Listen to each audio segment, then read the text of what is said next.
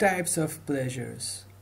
Life can be lived uh, by someone who has not read a single page on subjects such as cosmology, quantum physics, evolutionary biology, history, psychology, anthropology, science and technology, economics, literature, and uh, so on. But such a life lacks depth, meaning, and purpose.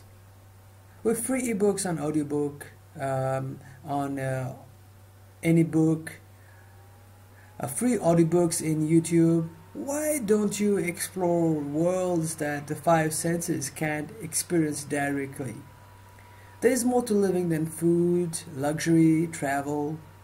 In fact, learning to enjoy both the sensory pleasures and the pleasure of the pure mind make life infinitely exciting and uh, fun and amorous.